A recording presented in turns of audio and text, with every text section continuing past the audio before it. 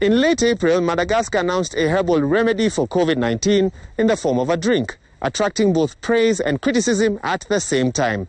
And even though the jury is still out on the efficacy of this drink, nevertheless, here in Kenya, at the KEMRI headquarters, scientists are also working on various herbal remedies. This is what we found out. Dr. Festus Tolo is the Chief Research Scientist and Deputy Director at the Natural Products Research and Drug Development Program at KEMRI. At this facility, the scientists are currently working on herbal remedies for diseases such as malaria, high blood pressure, and HIV AIDS. But our interest today is in a potential remedy for COVID 19.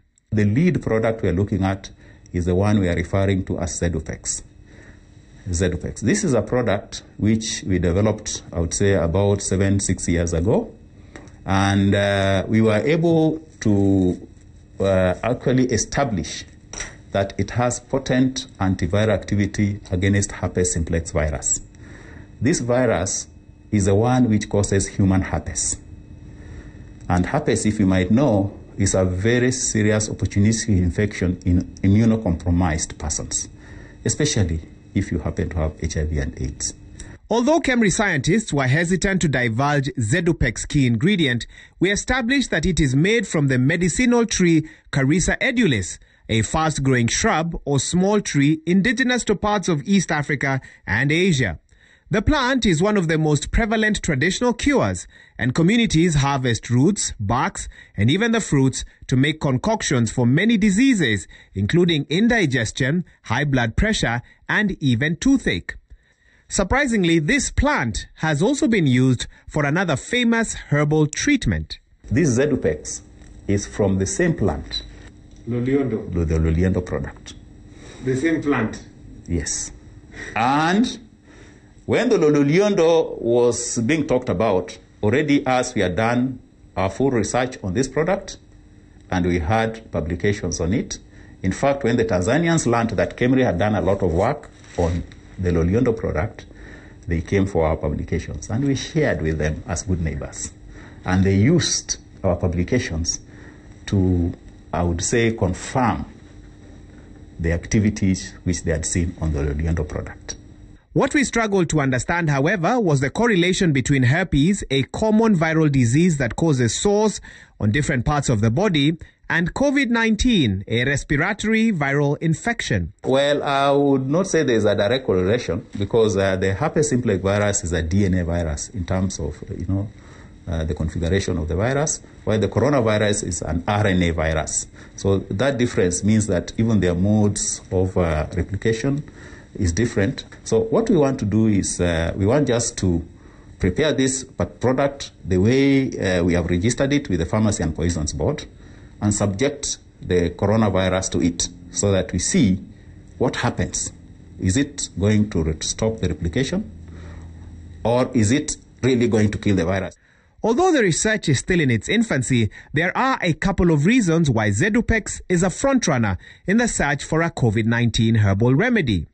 So there are millions and millions of compounds in this particular product, and each of these compounds are presenting differently in terms of therapeutic. Uh, some of them could be immuno, uh, improve the immune system of the body. Some of them could be even be nutritional. Uh, we have found that it has some presence of uh, trace element zinc, which is also key uh, in the human system. The product has not yet been administered on any coronavirus patient yet, thus, its efficacy is still unknown. We are now going to introduce the coronavirus, and we are going to use a clinical isolate. And maybe to mention, mention this, you know, when you are using a virus isolate, especially for a virus which is new, you must have ethical clearance to use this virus. There is a team, a clinical team, who are working into how we can be able to get that virus. As I speak now, they have gone through uh, certain stages which are necessary in terms of clearance, and they are at a final stage where they are going to get that ethical clearance, and then we can now be able to use this virus in our experimentation. So once we get this virus, uh, within, I would say, a period of one month, we will, we will have been able to look at our herbal product at different concentrations and known whether the product has anti-coronavirus activity. The good thing with herbal products is that their evaluation is not as thorough as conventional medicine. There are certain things which, once you present, uh, it is taken that the product is okay and it can move to the next level. Madagascar were the first African country to publicly announce a herbal remedy for COVID 19, known as COVID Organics, which it claimed has curative and preventive properties. Made from Artemisia, an anti-malarial plant that grows on the island, it has been freely distributed in schools and public venues, with a number of African countries, including Tanzania and the Democratic Republic of Congo, also making their orders. But the World Health Organization has cautioned against its use and other unproven herbal drugs. I, I don't want to think that this is a product which was just brought on the table, maybe taken to the president, and the president just, you know, started saying this is a good thing. My assumption is that before it was presented to the uh, authorities, it has, it must have gone through some stages of processing and evaluation. So I would like to assume that this product has a known safety profile, because that is very key. I would also like to assume that it has some known antiviral activity. So, could this powder provide therapeutic relief for those suffering from COVID 19? Well, medical experts opine that the key challenges include standardizing of herbal medicine, bearing in mind there are varied levels of components, and also mass production, which sometimes can be a challenge if the right active ingredients aren't always available. But another major obstacle that lies in the path of herbal medicines that never reach their full potential is how to turn good research into a finished and profitable product. We don't fund them enough to go beyond the research. Like this year, I think KEMRI has got something like 2.5 billion. Whereas, say, uh, Kenyatta probably has got something like 17 billion. Now, if you do that comparison, then you find that a lot of our money is going into consumption or service delivery other than supporting research.